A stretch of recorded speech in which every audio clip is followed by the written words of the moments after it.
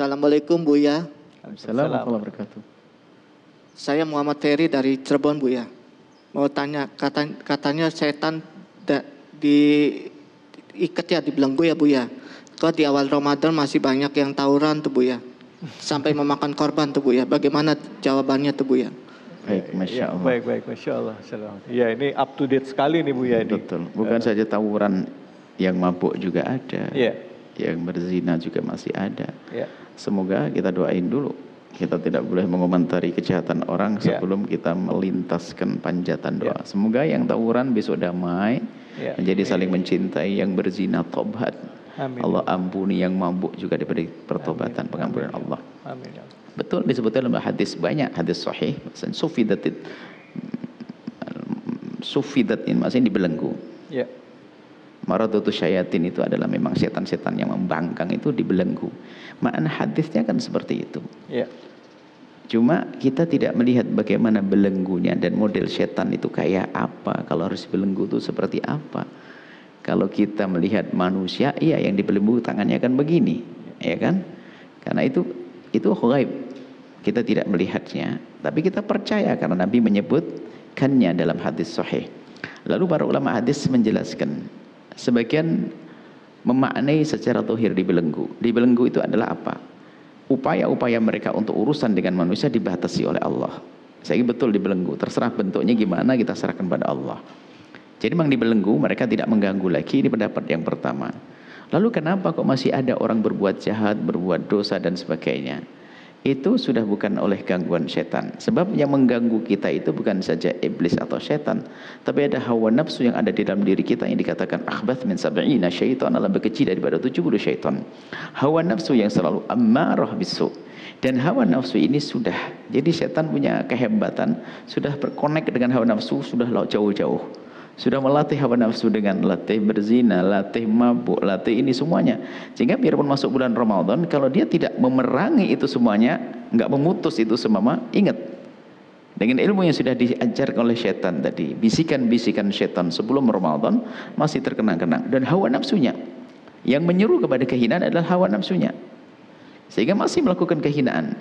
Makanya kita yang perlu harus benar-benar masalah. Kalau syaitan itu mudah kita mengusirnya. Allah yang ajarkan a'udzubillahi minasyaitonir rajim akan hilang.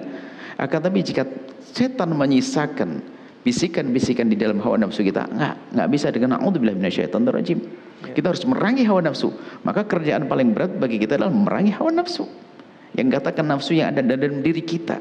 Ibaratnya musuh kita adalah sesuatu yang ada dalam diri kita ya, yang dibungkus dengan sering kita dengan ego, aku dan susah sekali kita untuk mendeteksi ini. Karena kadang-kadang dia mengajak seolah-olah mengajak kebaikan, ya, hawa nafsu, kadang nyuruh, nyuruh sholat ke masjid. Ternyata hanya untuk menghindar dari cari nafkah, kan begitu. Itu kan hawa nafsu yang halus sekali.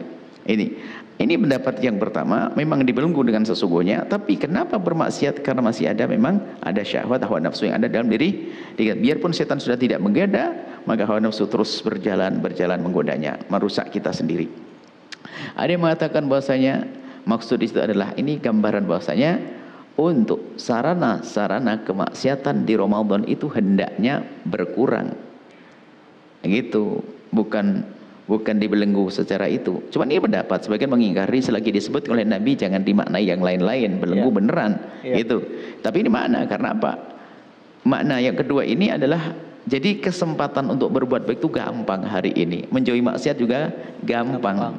ya, Nah, dari ini karena karena gambarannya menjauhi maksiat gampang ya. Sama-sama orang berbuat baik sama-sama orang berpuasa sama orang ibadah ini kemudahan. Jadi seperti itu maknai hadis. Itu hadis sahih dan benar disebutkan oleh Nabi SAW apa bentuknya ikut pendapat mana pun tapi tetap waspada. Dua musuh kita hawa nafsu. Makanya kita harus menuduh hawa nafsu kita setiap saat nggak boleh terlena dan sama syaitan ya, ya, Hmm, tapi kalau hawa nafsu dengan cara mujahadahnya alih-alih tarbiyah untuk merangi hawa nafsu terus diperangi, diperangi, diperangi, dilawan, dilawan hawa nafsu dan hawa nafsu itu halus karena ada dalam diri kita sendiri. Nauzubillah, berat sekali. Ammarah bisu. Kita tundukkan, kita tundukkan lawamah. Kita tuduh terus menjadi nanti menjadi radiyah mardiyah. Radiyah Nafsul mutmainnah ini adalah rentetan pendidikan ahli tarbiyah untuk mengangkat hawa nafsu dari amarah ke menjadi hawa nafsu yang tunduk kalau dan ridho dengan apa yang Allah berlakukan lalu Allah ridho kepadanya. Masya Allah. Baik Bu ya. Sudah jelas ya terjawab ya oleh Bu ya. Jadi kalau lihat tadi jawabannya Bu ya sudah jelas bahwa hawa nafsunya yang harus kita kendalikan. Bahkan Rasulullah SAW kalau tidak salah Bu ya pernah berkata bahwa orang yang paling kuat adalah orang yang bisa mengalahkan dirinya sendiri, hawa nafsunya sendiri. Mudah-mudahan Allah uh, mengajarkan kita menjadi orang yang pandai untuk mengendalikan hawa nafsu kita. Oke, sudah tergabung bersama kami. Silakan. Assalamualaikum. Waalaikumsalam. Assalamualaikum Buya. Waalaikumsalam warahmatullahi wabarakatuh. Siapa di mana ini Mas? Uh, saya Ivan dari Tangerang. Oke Mas Ivan, silakan pertanyaannya Mas. Uh, gini, Assalamualaikum Buya. Uh, mau nanya nih kan uh, lagi lagi temanya juga ngebahas jin, seton dan iblis ya. Jadi uh, kalau saya mau nanya bagaimana Islam memandang fenomena uh, seperti kayak kerasukan roh atau kesurupan gitu Bu ya. Dan apa sebab dan motifnya sehingga uh, di antara ketiga makhluk itu tuh bisa masuk ke alam bawah sadar kita gitu. Oke, oke, baik, baik. Terima kasih banyak Mas. Makasih ya. Mas Ivan ya. Ya, ya baik. Silakan Bu ya. Uh, tidak ada keterangan yang pasti tentang ada jin masuk dalam diri seseorang.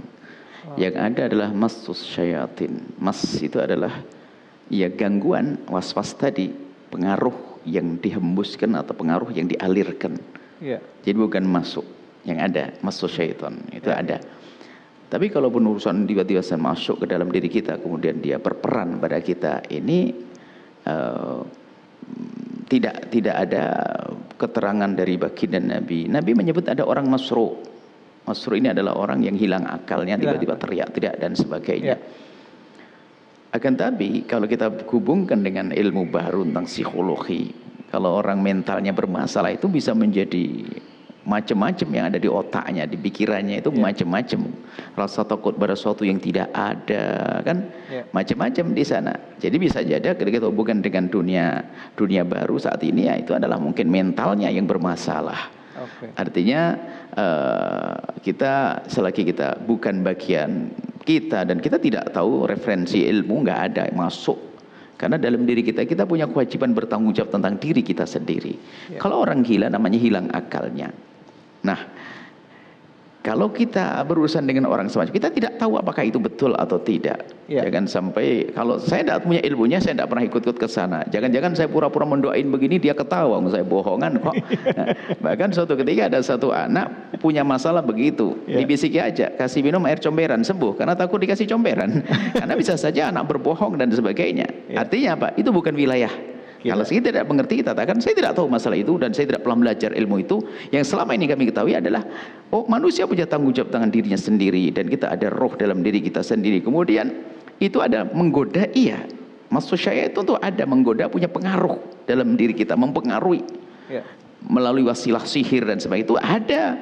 Kalau kalau wujud Bu ya misalnya kayak ya maaf, maaf ya kalau di kultural kita kan cukup dekat nih misalnya ada istilah kuntil anak nah uh, apa tadi dari definisi jin ya. dan setan itu adalah makhluk halus ya. yang sangat halus yang bisa menjelma dan mungkin saja kita lihat gitu Bu. bisa menjelma tapi ingat di saat dia menjelma karena dia telah masuk undang-undang alam yang lain maka kalau kita pukul dia kesakitan Begitulah dikatakan oleh Syekh Muntawali Sya'ori bahasanya.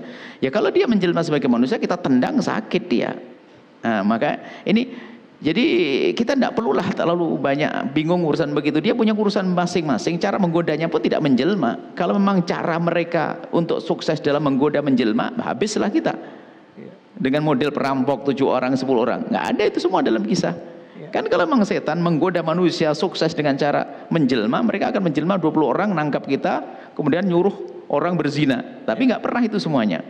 Karena itu ini karena menjelma memang ada pada zaman Nabi. Seorang mengatakan tabil sebagai Syekhul Najdi pada zaman Nabi di saat ada orang-orang kafir Quraisy itu diskusi ada orang tampak sebagai seorang syekh yang bijak mengusulkan bagaimana untuk menghancurkan Nabi Muhammad. Ada penjelmaan.